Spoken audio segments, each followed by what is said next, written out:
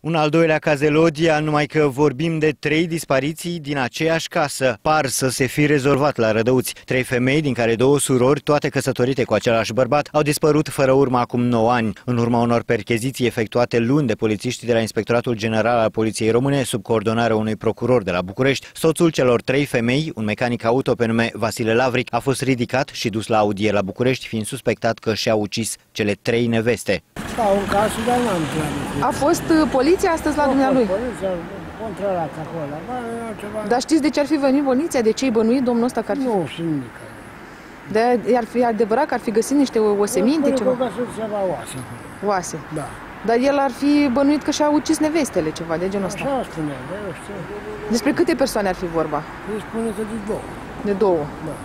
Și unde a găsit în uh, oasele poliția? Acolo, spus, au săpat acolo cu... Pe camă, cu și o buție, au săpat acolo. Și s-a întâmplat aici și tot, a, tot fals.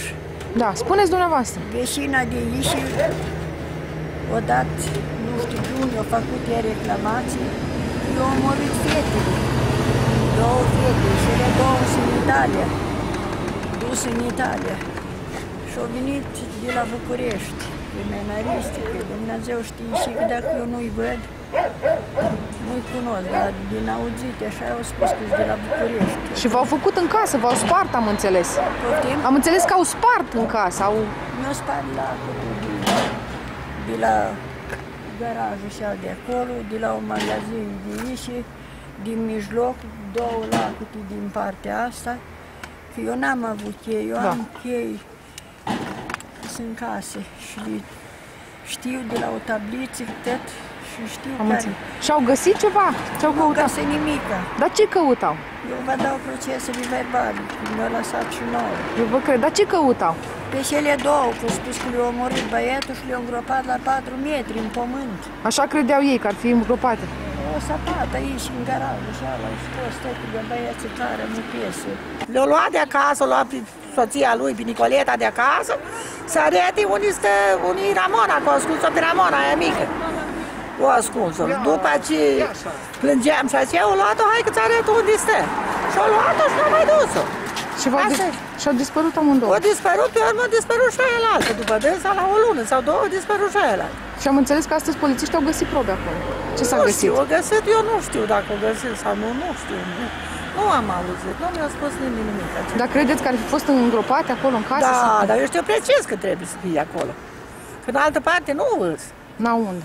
Moșneagă a spus la o soră de-a mea, dar a murit sora mea. Da. O chemat-o că ea mergea așa pe lângă bicicletă și a zis, Doamnă, știu că nu vorbiți eu cu sora mea, da. da pentru averi, pentru...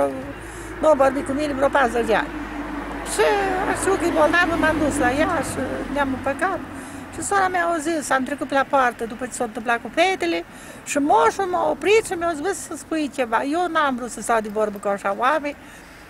Am mai trecut odată și moșul mi-a zis, uite-te la mine ce spun. Știu că nu vorbești cu dânsa, dar toate trei fete sunt aici la mine.